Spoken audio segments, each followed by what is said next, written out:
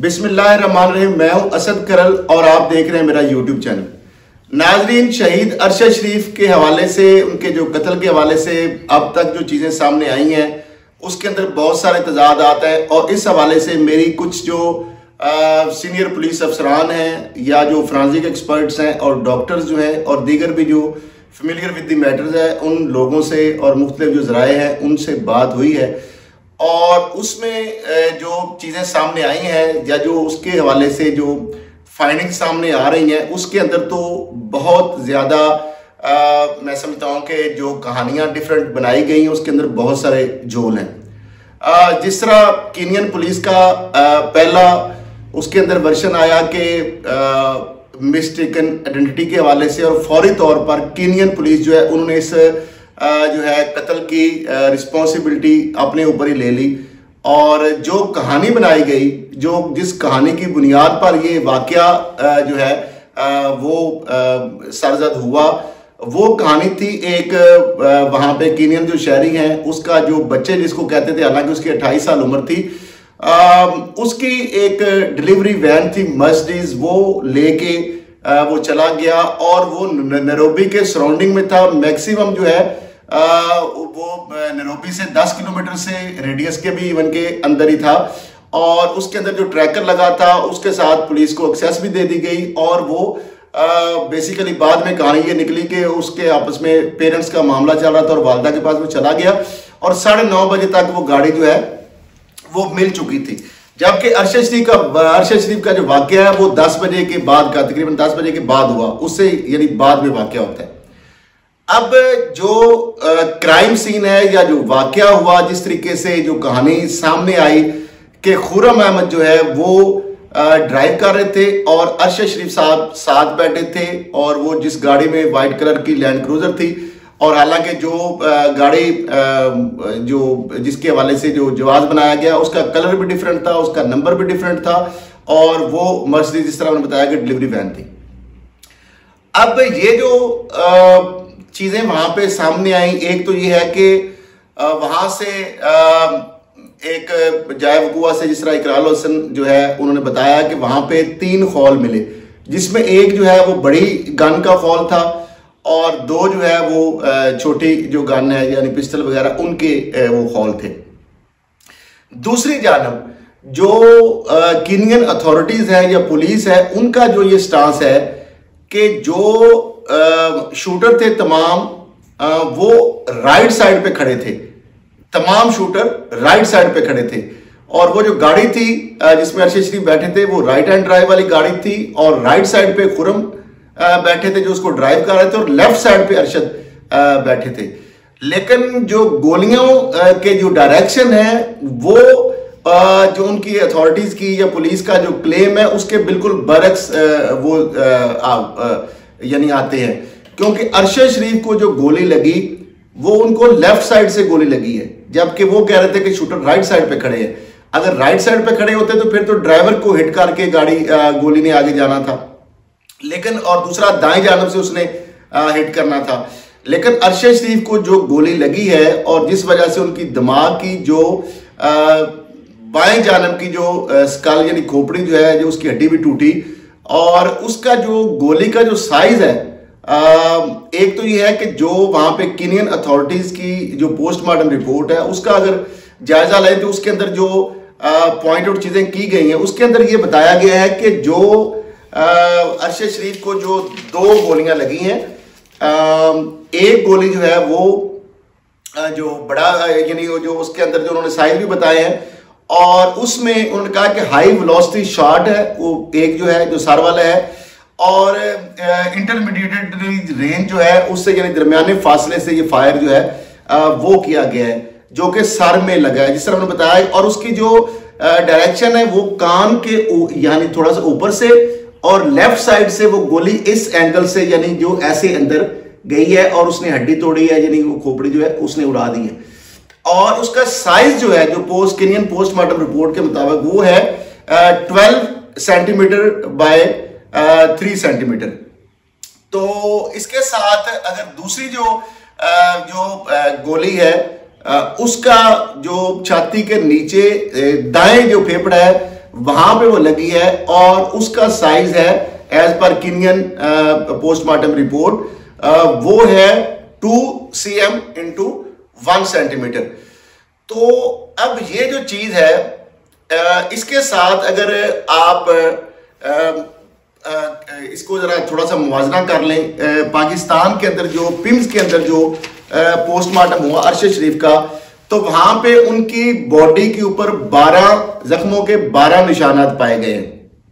एक तो यह है कि पिम्स ने भी जो आठ रुकनी बोर्ड है, उसने भी इस चीज़ को कंफर्म किया है कि अरशद शरीफ को दो गोलियाँ ही लगी हैं। ये बात किनियन पुलिस यानी जो अथॉरिटीज है, उनकी जो पोस्टमार्टम रिपोर्ट है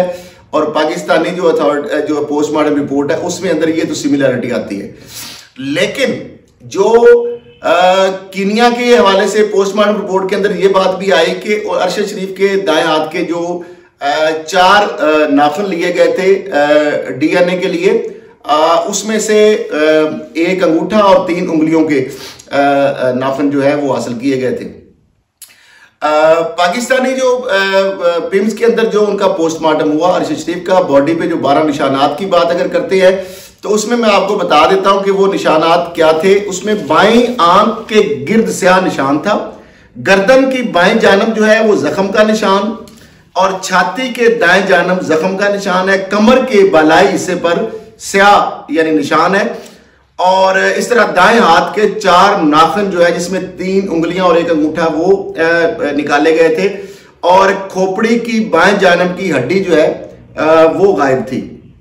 यानी गोली से जो दिमाग की जो बाएँ जानब की हड्डी है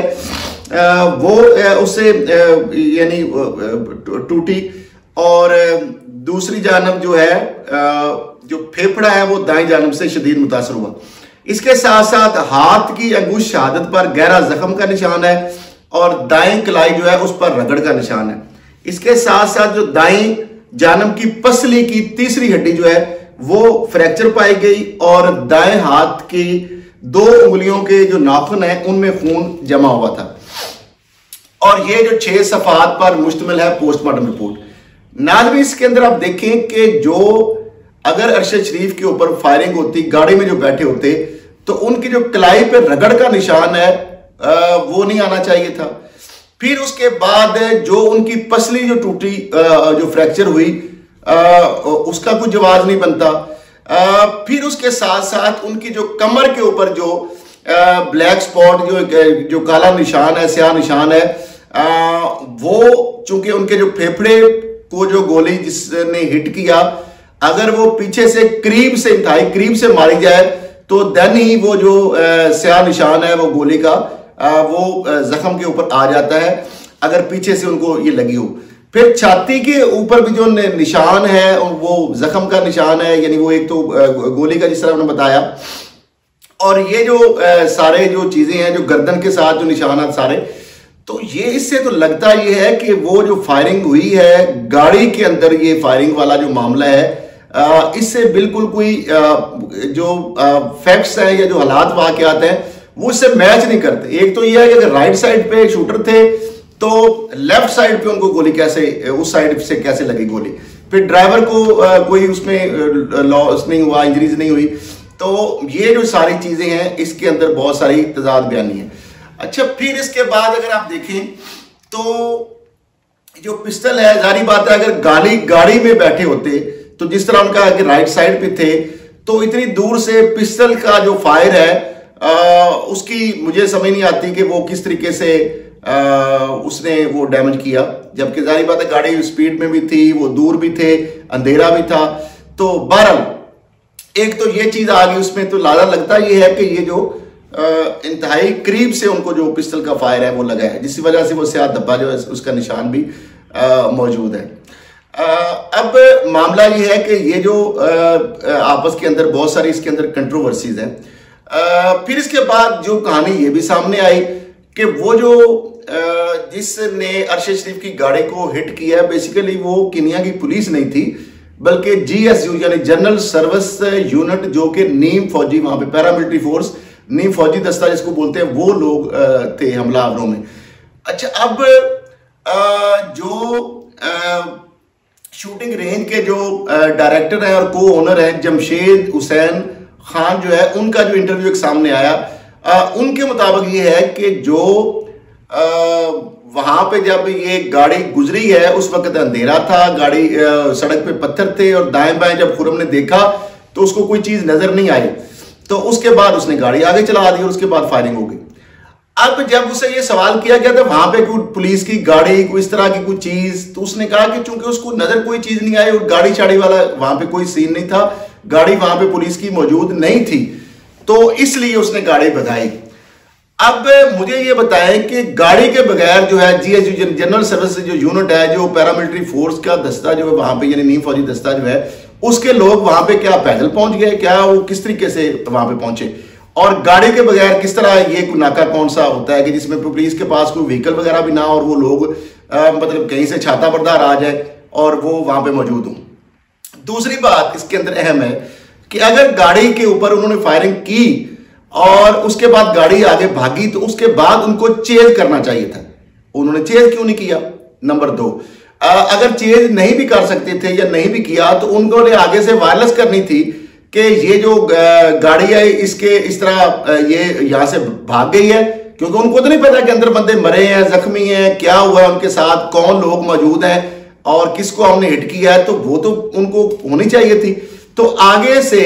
जो नाका लगना चाहिए था और इस गाड़ी को चेज या करना चाहिए था, या फिर इस गाड़ी को हर सूरत में इंटरसेप्ट होना चाहिए था। लेकिन आप देखें कि जब खुरम जो है, वो फ़ोन करता है वहाँ से वाक्य के बाद वकार को, और वकार जो है वो कुछ देर बाद उसका फ़ोन चूँकि वहाँ पे नीचे कुछ एरिया है और जो शूटिंग रेंज का जो वहाँ पे कहते हैं सिग्नल का प्रॉब्लम है और कुछ ऊपर जो पहाड़ के ऊपर है तो वहाँ पे जब वो गया तो उसने वो देखा तो उसने आगे से जब उनका रबता हुआ तो वखुरम ने ये वाक्य के बारे में बताया और वकार ने ये कहा कि जो दूसरा, यानी जो शूटिंग रेंज है, जो कि रास्ते में ही पड़ता है, यानी नरोबी की तरफ़ चूँकि जा रहे थे वो 20 किलोमीटर 15-20 किलोमीटर यहाँ से करीब है। तो वहाँ पे जो है, आप जाए और मैं भी वहाँ पे पहुँच रहा हूँ। और बकौल काशिफ जो हुसैन खान, उनके मुताबिक ये है कि फिर जमशेद सॉरी जमशेद जो है कि उनको भी जब रहा किया गया तो वो भी उसके फिर पीछे वकार के बाद वो भी वहाँ से निकल पड़े। तो वो ये कहते हैं कि ये जो गाड़ी है वहाँ पे तकरीबन यानी वाकई के दो घंटे बाद वो वहाँ पे यानी वो पौने दो घंटे बाद या दो घंटे बाद वहाँ पे वो पहुँचे। और उसके बाद वकार ने पुलिस जो है और दीगर जितनी भी उनकी सर्विसेज़ हैं, उनको इन्फॉर्म किया। तो जब पुलिस खुद वाक्य कर रही है, उसको फौरी तौर पर रिस्पॉन्सिबिलिटी भी उन्होंने आपको जिस तरह देखा, ले ली। यानी वो सारा मामला जो था, यानी उससे वो बचना भी नहीं चाह रहे थे। तो फिर तो पुलिस को इन्फॉर्म इनको करने की ज़रूरत नहीं थी, बल्कि पुलिस को इनको चेज करना चाहिए था और बकौल जो पुलिस ने दूसरा स्टैंड लिया मिस्टेकन आइडेंटिटी के बाद कि गाड़ी के अंदर से उनके ऊपर फायरिंग हुई और एक एहलकार जो है उसके हाथ पे फायर लगा। तो फिर उस पर भी उनको वहाँ पे पर्चा करना चाहिए था इस गाड़ी को कब्जे में लेना चाहिए था और खुरम या जो भी गाड़ी के अंदर अगर तीसरा कोई शख्स मौजूद था आ, तो उनके खिलाफ उनको कार्रवाई करनी चाहिए थी। इसका मतलब यह है कि जो उन्होंने स्टांस लिया आ, उसके अंदर कोई वज़न नहीं है वो जस्ट अपने आप को टू अवॉइड अपनी स्किन बचाने के लिए उन्होंने ये स्टांस लिया होगा। तीसरी चीज़ ओवरसाइड कमिश्नर से जब बात की गई किनियन की तो उन्होंने पहले तो इस चीज़ को कहा कि ये ऐसे ही है, जिस तरह की किनिया पुलिस ने इसको बयान किया, लेकिन जब उनसे ये सवाल किया गया कि क्या इस तरीके से पत्थर रख के गाड़ी को रोका जाता है तो और दूसरी ये है कि इसमें अगर वो अगवा वाला मामला था तो उस पर क्या फायर किया जाता है। तो इतनी जल्दी में मतलब तो उन्होंने पहले तो चीज़ को इंडोज किया, लेकिन बाद में उन, उनके जो जो जवाब था, उसके अंदर इन्होंने एक तो एडमिट किया कि नहीं नॉर्मली तो जो होता है, आमतौर पर, अमूमी तौर पर तो वहाँ पे नाका जो है बैरियर रख के लगाया जाता है। लेकिन बार उन्होंने ये जवाब बनाया कि मे भी वहाँ पे उनके पास बैरियर ना हो, लेकिन उन्होंने ये कैटागोरिकली कहा कि पत्थर उन्होंने नहीं रखे थे। अब ये जो मामला है, इसके अंदर भी बहुत सारी कहानी के अंदर जो है, वो झोल तो है अब मामला ये है कि इसके अंदर एक और बहुत अहम पहलू है और वो भी मैं समझा उसको भी प्रूव किया जाना चाहिए कि अरशद शरीफ दो माह पहले इस वाक्य से वो कीनिया पहुँचते हैं और उसके तकरीबन उनके पहुँचने के दो हफ़्ते के बाद छह जो इंस्ट्रक्टर्स हैं, जो कि एक्स मिलिट्री के हैं अमेरिकन और उनके बारे में जो शूटिंग रेंज की जो इंतजामिया का कहना है कि एक्स उनके बकौल के एक्स मिलिट्री के हैं वो। मुबैना तौर पर बताया ये जा रहा है कि वो ब्लैक वाटर्स के साथ उनका तल्लक था।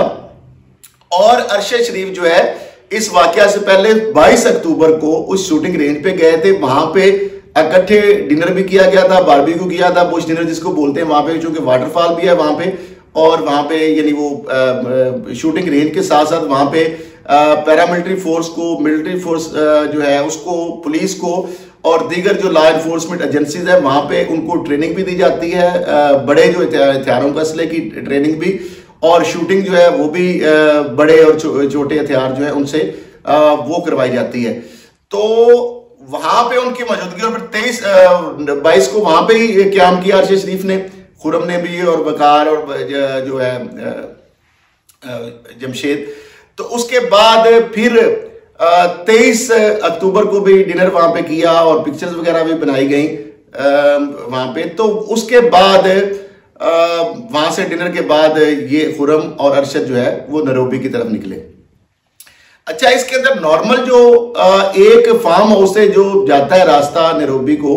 वो नॉर्मली जो पहले यूज़ करता था खुरम या बाकी जो लोग हैं वो रास्ता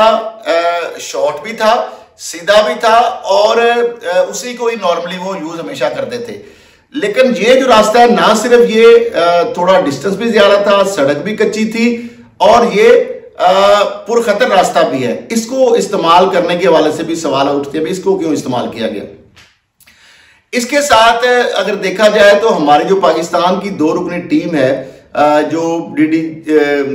G I B और एफ़ आई ए के जो अफसरा पर मुश्तमिल है वो वहाँ पे गई तो उनको भी उनके बारे में जो इंस्ट्रक्टर्स थे उनके बारे में क्वाइफ उनके नहीं दिए गए। एक और बात बड़ी इसके अंदर अहम है, वो भी आपको मैं बताता चलूँ कि ये जब अरशद शरीफ का वाक्य होता है तो रात को जारी बात है लेट गए फिर उनको इतला मिली तो सुबह सात बजे अर्ली मॉर्निंग ही गाड़ी आती है और वो जो इंस्ट्रक्टर है जिनका कॉन्ट्रैक्ट जो है वो अढ़ाई माह का था और अभी डेढ़ माह उनको हुआ था तो वो इंस्ट्रक्टर जो है वहाँ से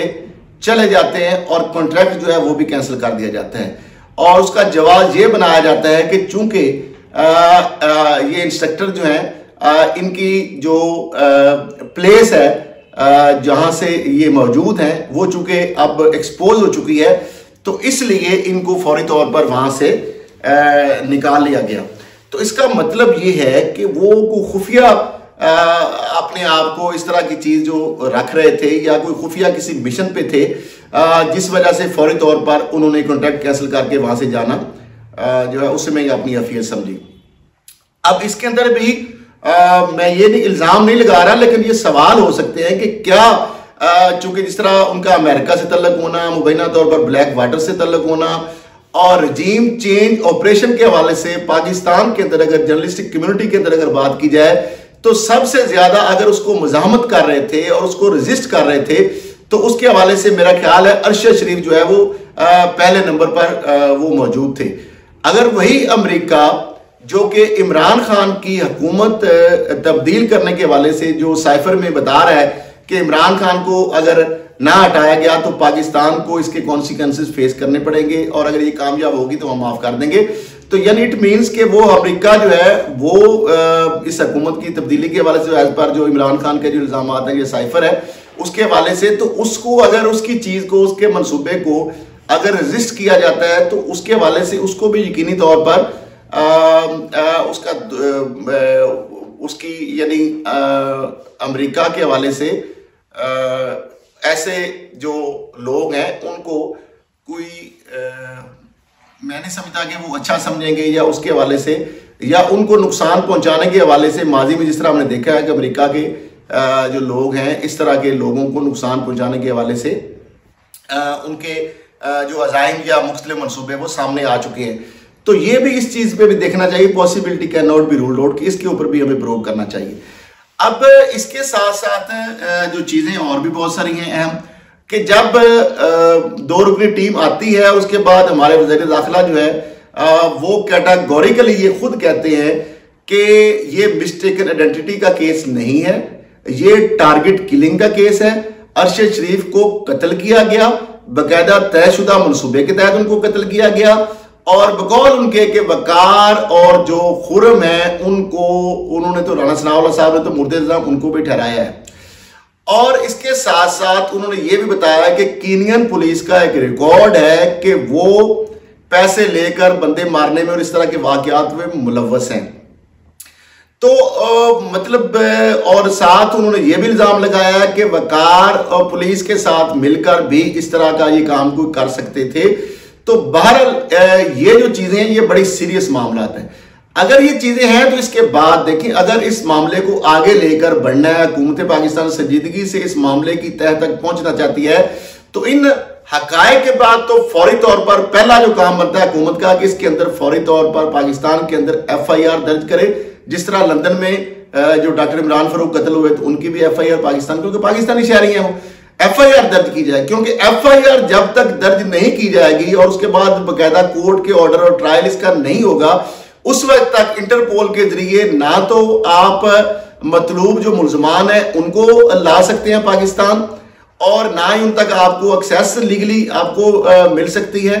और इसी तरीके से कीनियन अथॉरिटीज भी जो है वो भी ड्यूटी बाउंड नहीं होंगी आपसे इंफॉर्मेशन शेयर करने के लिए जब तक आप ये एफआईआर का प्रोसेस और उसके बाद कोर्ट ऑर्डर जो है मुख्तलिफ़ हवालों से जो ट्रायल जब होता है तो जो आपको जो रिक्वायर्ड इंफॉर्मेशन डिटेल या एक्सेस चाहिए तो वो भी आपको आ, उसके अंदर बाज दफ़ा रिक्वायर्ड होते हैं। तो वो चीज़ें जो है क्योंकि इंटरपोल के जो अपने एक एस हैं उसके अंदर वो फिर कोर्ट ऑर्डर कुछ मामला के अंदर जो है रिक्वायर्ड उसको होते हैं वो आपको देने पड़ते हैं। तभी जाके हवालगी का मामला या किसी को आपने पाकिस्तान लाना है या किसी तक एक्सेस आपको चाहिए। तो वो तभी आपको मिल सकती है। तो ये हुकूमत जो है, इस मामले में क्यों नहीं कर रही? तो जहाँ तक बाकी भी इसके अंदर मैंने जिस तरह बताया कि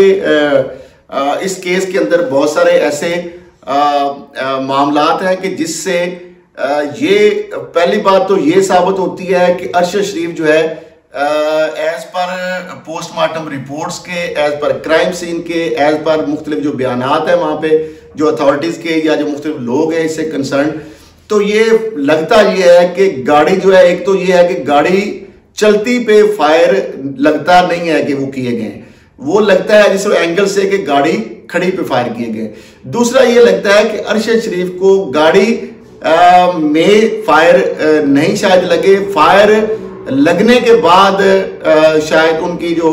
आ, उनको गाड़ी में मुंतकिल किया गया है। क्योंकि उनकी पसली टूटना, उनको जो मुख्तलिफ़ जो जख्मों के जो बारह निशानात हैं, रगड़ के निशानात जो हैं वो इस तरह लगता है जिस तरह के वो गाड़ी में नहीं थे उस वक्त जब ये सारे मामला हुए। तो अब ये जो चीज़ें हैं और इसके बाद फौरी तौर पर केनियन पुलिस का इस चीज़ को एक्सेप्ट कर लेना रिस्पॉन्सिबिलिटी अपने ऊपर ले लेना। और वो जो सारे फैक्ट्स हैं, वो भी बिल्कुल इसके बरक्स हैं, वो गाड़ी वाला जो मामला है, वो भी सामने आ गई चीज़ें। तो अब इस चीज़ के ऊपर मैं समझता हूँ कि बहुत सारी चीज़ें जो हैं इसमें उनके ऊपर अभी तहकीकत तहकीकात होनी चाहिए। इन मामला और इन सवालात जो है, और इन तजादात जो है इनका जवाब जो है, वो आना चाहिए। और पाकिस्तानी हुकूमत को फौरी तौर पर इस पर एफ़ आई आर दर्ज करनी चाहिए। और इंटरपोल के ज़रिए जो बाकी जो अथॉरिटीज केनियन है या बाकी जो लोग इसके अंदर कंसर्न है उन तक एक्सेस लेनी चाहिए। अगर ज़रूरत है या कोई ऐसे एविडेंस आ जाते हैं तो पाकिस्तान लाने के लिए उनको ए, मैं समझता हूँ कि वो करना चाहिए उनको आ, पाकिस्तान को एफर्ट करनी चाहिए। फिर जिस तरह पोस्टमार्टम रिपोर्ट के हवाले से जो पाकिस्तान के पिम्स के अंदर हुई है तो वहाँ पे आ, जो बुलेट जिस तरीके से कोई आ, उसका कोई पैलेट जिस तरह बता रहे हैं कि वो मौजूद था तो उसको फिर आप जो है उसका फ्रांसी करवाना चाहिए। और इसके साथ साथ आप देखें कि जो बेसिकली ये जो कह रहे हैं कि एक नाखन क्यों नहीं लिया गया ज़्यादा क्यों ले लिए गए और नाखन क्यों उनके डीएनए के लिए लगे यकीन अथॉरिटी तो उसके लिए जो मेरी एक्सपर्ट से बात हुई है वो इशू ये होता है बेसिकली कि नाखन इसलिए लिए जाते हैं कि जो मकतूल यानी है जो अरशद शरीफ साहब हैं वो आ, उनका जो हाथ है जब वो अगर कोई इस तरह की कोई वहाँ पे कोई यानी उनको कोई किसी चीज़ को वो टच किया या उन्होंने उनको किसी ने किया तो वो उनके ज़रिए डीएनए मैच के लिए ये चीज़ जो है वो कारामद साबित हो सकती तो इसलिए वो नाखन जो है उनके लिए गए। तो अब ये जो चीज़ें हैं सारी क्राइम सीन वहाँ पे महफूज ना करना उन्नीस दिन बाद जब इकरार वहाँ पे खौल वहाँ पे जाके वो आ, उनको मिलते हैं। तो इसका मतलब यह है कि ना तो कीनियन अथॉरिटीज़ जो हैं वो इस मामले को संजीदगी से आ, ले रही हैं और ना ही पाकिस्तानी हुकूमत जो है जिनका एक शहरी और प्रोमिनेंट पाकिस्तान के टॉप वन जो इन्वेस्टिगेटिव जर्नलिस्ट है उनका वहाँ पे कत्ल होता है और उनकी अथॉरिटी यानी पुलिस जो है वो एडमिट भी कर लेती है। लेकिन उनको पाकिस्तान की जो टीम है, उस तक टीम को उन तक रसाई ना देना और जो फायर वाला जो कहानी है, उस बंदे को सामने ना लाना। और फिर उनको सस्पेंड नहीं किया गया, उनके खिलाफ कोई प्रोब नहीं किया गया, उनके खिलाफ कोई कार्रवाई मुकदमा दर्ज नहीं किया गया। तो ये वो बहुत सारे सवाल हैं, बहुत सारे जो चीज़ें हैं, जिनके जवाब जो है वो हुकूमत पाकिस्तान को मांगने चाहिए कीनियन अथॉरिटीज से, और ये बेसिकली मामला जो है, रियासत को रियासत के साथ उठाना चाहिए, और इस पे जो केनियन सफीर है, उनको भी बुलाकर और उनसे ज़बरदस्त एहतजाज करना चाहिए पाकिस्तानी हुकूमत को और इस मामले के अंदर मैं समझता हूँ कि जब तक आप सुप्रीम कोर्ट के सिटिंग जज की सरबराही में अगर कमीशन जो बनेगा और उससे पहले बुनियादी तौर पर एफ़ आई आर दर्ज होने की ज़रूरत है, और उसके साथ साथ यूएनओ जो है उसके भी कोई नुमाइंदे रिप्रेजेंटेटिव जो है, अगर वो भी इसके हवाले से पाकिस्तान की कोई मामलत करेंगे तो फिर जाके इस मामले को तय तक पहुँचा जा सकता है। तो बहरहाल आज तक के लिए इतना ही। इसके अलावा बहुत सारे और इस मामले से मेरे पास जो इंफॉर्मेशन हैं, हकायक हैं तो चूँकि वीडियो लंबी हो रही है तो वो मैं अगले व्लॉग में बताऊँगा आपको कि बहुत सारी इसके अंदर कौन कौन से और जो शवाहद या जो चीज़ें अब तक सामने आई हैं, कौन से और तजादात हैं, कौन से और सवाल हैं। तो आज के लिए इतना ही, इसी के साथ इजाज़त दीजिए, अल्लाह हाफिज़।